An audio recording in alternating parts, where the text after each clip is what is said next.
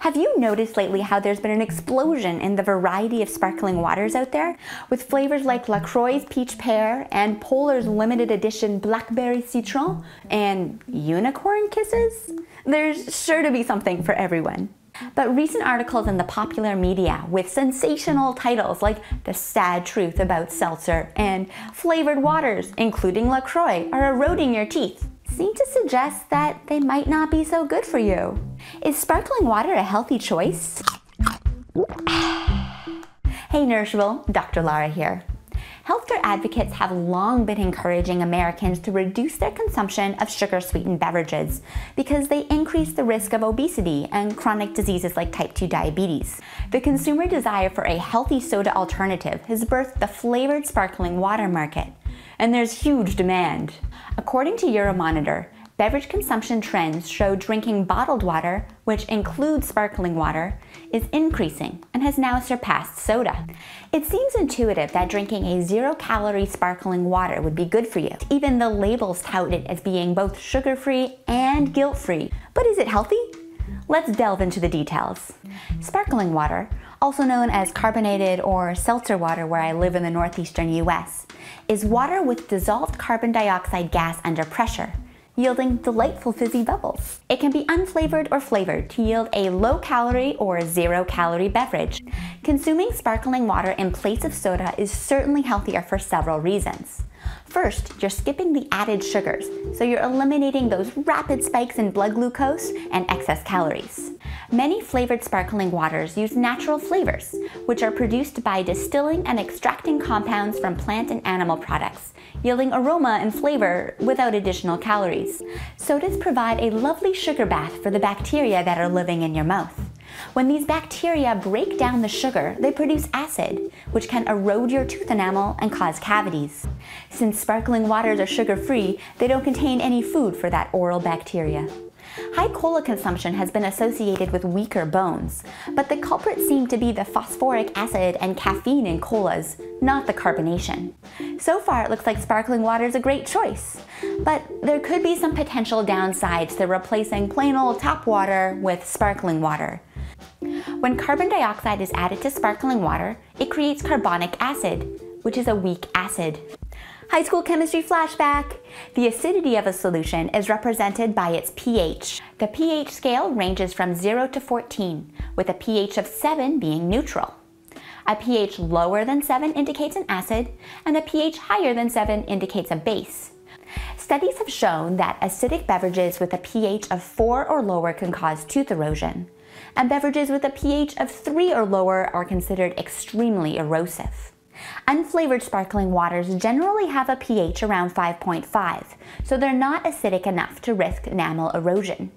I was reading through these sensational articles about flavored sparkling water being terrible for your teeth with a fine tooth comb. And what I found was that the studies they cited hadn't measured the pH of any of the flavored sparkling waters that are currently on the market.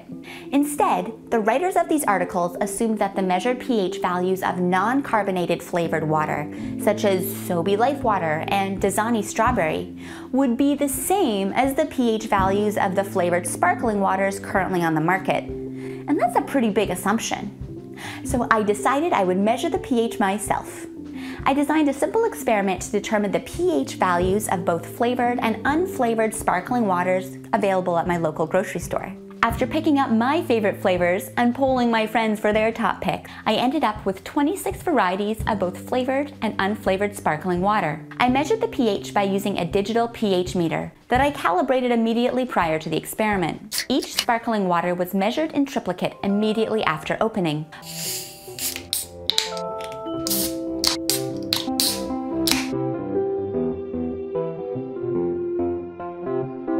For comparison, I also measured the pH of my tap water, lemon juice, and Coke Zero as an example of soda. Drum roll please, the results!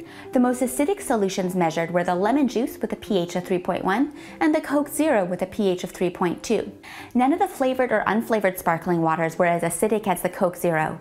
So this again supports that choosing sparkling water over soda is a healthier choice with respect to erosive potential. Using the criteria of a pH less than 4.0 as being erosive and a pH greater than 4.0 as having minimal erosive potential, Six of the sparkling waters tested are considered erosive, with pHs from 3.6 to 3.9.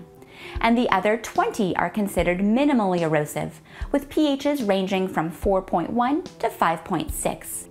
Sparkling waters flavored with fruit juice, such as Spindrift Blackberry and Orange Mango, were the most acidic, both with a pH of 3.6. And that's because fruit juice is naturally acidic. The least acidic sparkling waters were the mineral waters, San Pellegrino with a pH of 5.3 and Perrier Lime with a pH of 5.6. The other 18 non-mineral sparkling waters had pHs ranging from 4.1 to 4.6, so they're considered minimally erosive, but still pretty close to that acid enamel eroding threshold. Surprisingly, two of the three unflavored sparkling waters tested were more acidic than pH of 5.5, so based on my test, they shouldn't be considered differently from other flavored sparkling waters. Check out the video description below for all the details of the results. So what should we do with this information? My experiment had a few limitations. I didn't test every single flavored and unflavored sparkling water available on the market. And I would imagine that it's unlikely that you're going to run around testing the pH of your beverage before you drink it, so you're not always going to know the acidity of your sparkling water. Due to these uncertainties, I would recommend treating all sparkling water as being potentially erosive. While sparkling water certainly isn't as concerning as soda or citrus juice with respect to enamel erosion, this data indicates that sparkling water should still be consumed with some special considerations. But don't worry, that doesn't mean you shouldn't drink it. Try following some of these tips to help reduce the exposure of your teeth to potential enamel eroding acid. Aim to consume sparkling water with meals. When you're eating food, you'll produce more saliva, which will help buffer the acidity of the beverage. When you consume sparkling water, drink it all at once, as opposed to sipping on it slowly. Avoid swishing sparkling water in your mouth. Theoretically, it could be beneficial to drink through a straw to avoid contact with teeth. Avoid brushing your teeth within 30 minutes after drinking an acidic beverage because this could further degrade your enamel. It also isn't a good idea to completely replace drinking tap water with commercially available sparkling water. Many municipalities around the US add fluoride to their water, which can help strengthen the tooth enamel. If you want to enjoy fizzy bubbles and fluoridated water, then you could invest in an in-home beverage carbonator, such as a SodaStream. My bottom line is that incorporating flavored or unflavored sparkling water into your lifestyle is a healthy choice, especially when it replaces sugar-sweetened beverages like soda.